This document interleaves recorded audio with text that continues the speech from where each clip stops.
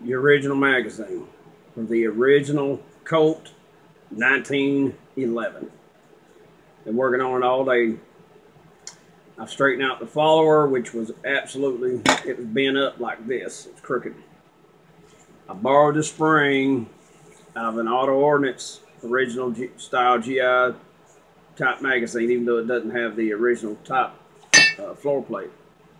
Live cartridge, 100 year old Colt.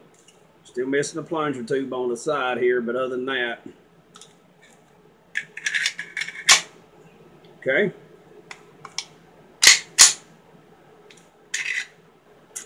Ooh, look, it fed. You can see that old follower.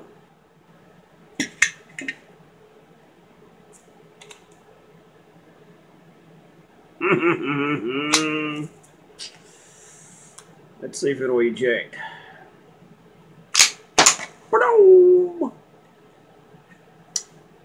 We are going to resurrect this thing and get it right as rain. You can tell that that is the original gun.